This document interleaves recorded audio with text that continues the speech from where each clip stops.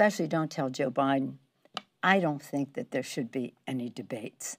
I do not think that the President of the United States has comported himself in a way that anybody should, and that has any association with truth, evidence, data, and facts. I wouldn't, I wouldn't legitimize a conversation with him, nor a debate in terms of the presidency of the United States. Now, I know that the Biden campaign thinks in a different way about this. All right. Torture Talk, man. Like, share, subscribe to the page. I want to talk about Nancy Pelosi and her saying that this guy, this guy, this guy Joe Biden. Joe Biden shouldn't debate Donald Trump. She don't think that they should have a debate. Before we get into that, like, share, subscribe to the page. Uh, the Cash App and the uh, PayPal is in the description if you want to leave a donation. It helps the channel, but the best way to support the channel is to like, share, subscribe. Also, hit the notification bell and hit the like button or not. You know? So, let's get into this. The reason why I'm smiling so much and I'm and I'm I'm laughing because this is very hilarious. This is very hilarious to me it's hilarious how it's just hilarious how this how 2020 is. It became a thing where 2020 is like probably the most infamous year. I mean, 2020 we have came into 2020 I don't think there was ever any year that I can say that is more infamous in 2020. So, that being said, Nancy Pelosi, take several seats, please. Go sit your ass down. Sit your ass in the back and sit down and be the Speaker of the House like you are. Shut your ass up. There shouldn't be no debates. See, this is how you know that the Democratic Party is broken and it's all over the place. And they don't even communicate with each other. So you're going on record saying it shouldn't be no debate because you feel as though that he stalked Hillary Clinton in 2016 debates. So you don't think that you should have a verbal what you say, legitimize or verbal uh, confrontation or I would say discussion or debate, because that's what it is, a debate with Donald Trump because you feel like he's going to spread lies. Here's my here's my thing with you, Nancy Pelosi, and this is why I'm telling you to sit your ass down. Here's my thing. A debate is for people to figure out who's telling the truth. I can't understand for the life of me why you would say you don't want Joe Biden to debate Donald Trump if Donald Trump's a liar. If Donald Trump's a liar, why don't you want him to debate Joe Biden? It doesn't make any sense to me. This is why I say that the Democratic Party is broken. It's all over the place. If you looked at the DNC, you would know it's all over the place. They're all over the place. Some of them recording stuff that was pre-recorded, didn't even mention the vice president. Some of them doing this. You got this person talking about this, endorsing this person, even though I know that's what the rule was. But still, you got them endorsing this person, and that person is this, and that person is that. What did Kamala Harris say to the guy, to that guy? What's the perception? But what is the perception? I'm gonna ask her the same question. What's the perception?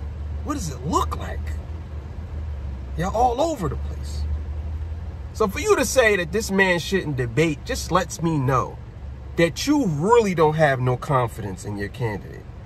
You really don't believe that Joe Biden is going to go out there and do well. You really don't. Excuse me. You really don't. So I totally believe that the Democratic Party is broken. They don't know what to do, and they're just saying anything. And for you to say, I know the Biden campaign is going to disagree with me, you should be in tune with the the Biden uh, the Joe Biden campaign. It should be you you talking to them about things, not going on national television and saying I don't think he should debate because it looks like now it looks like Joe Biden is weak.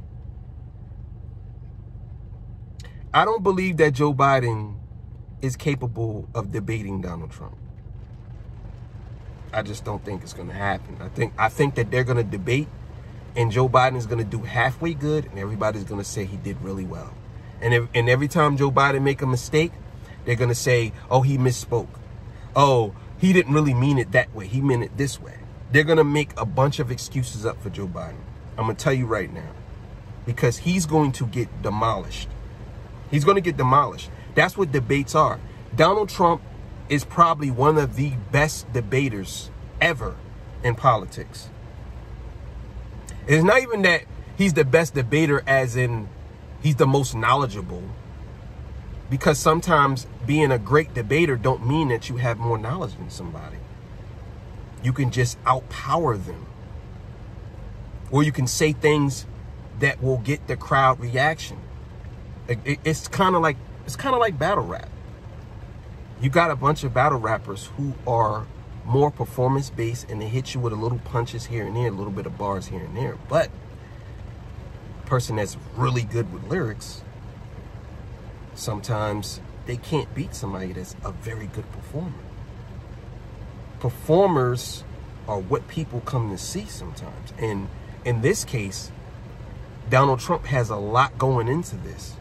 And Nancy Pelosi knows this. She knows that that Joe Biden been in in in, in uh, politics before her. So Joe Biden, Joe Biden's been in this this game 50 years, and he hasn't really done anything significantly to help certain people or to help people. Period.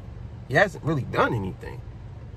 Donald Trump's been in office for three years, and I can say that he done a lot more than probably Joe Biden. Now, people could say, well, Joe Biden probably uh, did some backdoor deals or did some things behind the scenes, but we're talking about what's on record. So I'm saying that he's going to get slapped around and she knows it. That's why she brought up him stalking Hillary Clinton because she know that Donald Trump is a great debater. And on top of that, He's not going to let you overtalk. And he is going to make Joe Biden look stupid. It's a lot of things going into this debate that he can use against Joe Biden. He can say that your vice president really don't even like you. And on top of that, your vice president thinks that you're she she believes your accusers. It's so much stuff that he can say to Joe Biden. Now, again, there's some things that he can say to Trump but I believe that Trump can get out of those things like the oh, oh there's good people on both sides we all we all know that that's not the truth and we all know what it really is but everybody wants to go along with the narrative it's like we all know what he said but everybody wants to go along with the narrative and not know the truth but anyway Nancy Pelosi take several seats please sit your ass down please Sit down. You're making matters worse. Nancy Pelosi is making matters worse for the Democrats. Period. Everything she says, she need to be silenced. They need to shut her up because she's making matters worse. And on top of that, Joe Biden makes matters worse when he talks too. So you got two people making matters worse when they talk. Sit your ass down, Pelosi, because you are tripping. If you saying that they shouldn't debate, they should debate because number one, this is what it's all about. Everybody wants to see this. So for you to say they shouldn't debate, of course, you know, we all know that that was your opinion, but still, what did, what did Kamala say? It's the perception.